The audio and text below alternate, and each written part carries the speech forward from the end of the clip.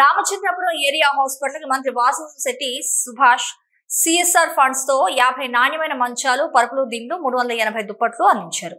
మంగళవారం area hospital superintendent doctor Praveen హాస్పిటల్లోని మంచాలు కాలం చెల్లి తుప్పుపట్టాయని మంత్రి సుభాష్ దృష్టికి తీసుకురావడంతో వెంటనే స్పందించిన మంత్రి. ప్రభుత్వ హాస్పిటల్కి వచ్చే పేద రోగుల సౌకర్యార్థం తక్షణమే సమకూర్చినట్లు డాక్టర్ ప్రవీణ్ వెల్లడించారు. వాటిని మంత్రి సుభాష్ ప్రారంభించి హాస్పిటల్లో అందుతున్న వైద్య సేవలపై తనిఖీలు చేసి సంతృప్తి వ్యక్తం చేశారు. ఈ సందర్భంగా మంత్రి మాట్లాడుతూ ప్రభుత్వ హాస్పిటల్కి పేదలు వస్తారని వారికి మరింత నాణ్యమైన వైద్యం అందించాలంటూ సూచించారు. ఈ సందర్భంగా హాస్పిటల్లో అందుతున్న సర్జరీలు వైద్యం ఇతర సేవలపై ఆయన సంతృప్తి వ్యక్తం చేశారు. తల్లిదండ్రులు లేని ఒక యువకుడు వైద్యం హాస్పిటల్లో పొందుతూ ఉండటంతో ఆ యువకుడి నాయనమ్మ పరిస్థితి వివరించడంతో మరి మంత్రి తక్షణమే స్పందించి తన సొంత నిధులు ఐదు వేల రూపాయలు అక్కడికక్కడే అందించారు. ఈ కార్యక్రమంలో డాక్టర్ చక్రధర్ దంగేటి గౌరీశంకర్ గొల్లపల్లి కృష్ణ కాటి సుబ్రహ్మణ్యం తదితరులు పాల్గొన్నారు. నా పేరు డాక్టర్ ప్రవీణ్. నేను కోనసీమ జిల్లా రామచంద్రపురం ఏరియా హాస్పిటల్లో సూపరింటెండెంట్గా వర్క్ చేస్తున్నాను. ఇవాళ ఏరియా హాస్పిటల్కి ఒక మంచి మంచి రోజని చెప్పుకోవాలి. ఎందుకంటే గత ఇరవై సంవత్సరాలుగా మన హాస్పిటల్కి ఇచ్చిన వంద పడకల హాస్పిటల్గా డెవలప్ అయింది అప్పుడు. కానీ అప్పుడు ఇచ్చిన కొరు మంచాలు బాగా కొంచెం బెండ్ అయిపోయి తుప్పు పట్టి ఈ విధంగా ఉన్న పరిస్థితుల్లో గతంలో ఒకసారి పెయింట్స్ అవి వేసాము శ్రమదానం చేసి. బట్ ఏంటంటే యూసేజ్ ఎక్కువ ఉంటుంది కాబట్టి పేషెంట్లవి ఇవి తొందరగా పాడైపోతుంటాయి గవర్నమెంట్ హాస్పిటల్లో ఏ వస్తువు అయినా సరే.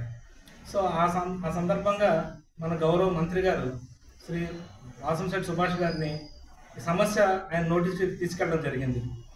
సారు సరే చూద్దామన్నారు కానీ ఆయన బాగా స్పందించి ఒక యాభై బెడ్లు మీరు చూస్తున్నారు ఎంత క్వాలిటీ ఉన్న బెడ్స్. అంటే బెడ్ అంటే పరుపు అనే కాదు మంచము పరుపు దిండు.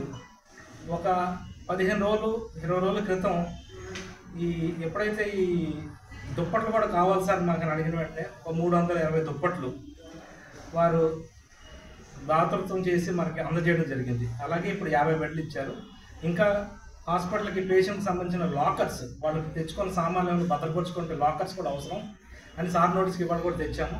అన్నిటికీ స్పందించి తప్పకుండా చేద్దామని చెప్పి చెప్పారు. వారికి మా హాస్పిటల్ తరఫున ధన్యవాదాలు తెలియజేసుకుంటాం ఎక్స్టెన్షన్ అయింది. అంటే బెడ్స్ అయితే అయిపోయి కానీ హాస్పిటల్ పెరగడం జరిగింది. ఆ సందర్భంగా ఇక్కడ పారిశుద్ధ కార్యక్రమం సెక్యూరిటీ వర్కర్స్ నీడ్ అలాగే స్టాఫ్ నర్సెస్ నీడ్ కూడా మనకు అవసరం అని చెప్పి మళ్ళీ ఒకసారి సార్ నోటీస్కి పెట్టడం జరిగింది. దానికి కూడా స్పందించి తప్పకుండా మా పక్క ఛాంబరు హెల్త్ మినిస్టర్ గారి ఛాంబర్ నేను వారితో పర్సనల్గా మాట్లాడి అవి కూడా వచ్చేటట్టు చేస్తాను రిక్వైర్మెంట్స్ కూడా ఇవ్వమని ఇవాళ మాకు చెప్పడం జరిగింది. ఈ విధంగా హాస్పిటల్కి వారు సహాయపడుతున్నందుకు మనం ఎంతో గర్వపడాలి. అలాగే హాస్పిటల్ తరఫున మరొకసారి వారికి అందరి తరఫున కృతజ్ఞతలు చెల్లిస్తున్నాం థ్యాంక్ యూ సార్ ముఖ్యంగా పేషెంట్లు అందరూ ఇబ్బంది పడటం ప్రస్తుత సీజన్లో వైరల్ ఫీవర్స్ చాలా ఎక్కువగా ఉన్నాయి. అది కూడా ఇంచుమించు పన్నెండు సంవత్సరాల లోపు పిల్లలకి బాగా ఎక్కువ ఉండటం చూడటం జరిగింది. దానికి సరైన వైద్యం ఈ ఏరియా హాస్పిటల్లో చాలా నాణ్యమైన వైద్యం అందిస్తూ ఉన్నారు స్టాఫ్ అందరూ కూడా.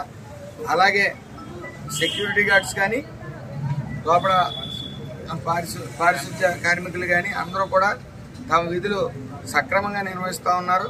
అలాగే ఇక్కడ ఫుడ్ కూడా టెస్ట్ చేయడం జరిగింది.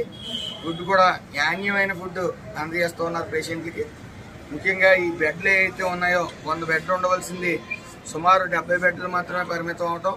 పేషెంట్లు వంద మంది పేషెంట్ల కన్నా ఎక్కువ ఉండటం మరి వైద్యం అందించే ప్రక్రియలో ఇబ్బంది అవుతూ ఉంది బెడ్లు లేక.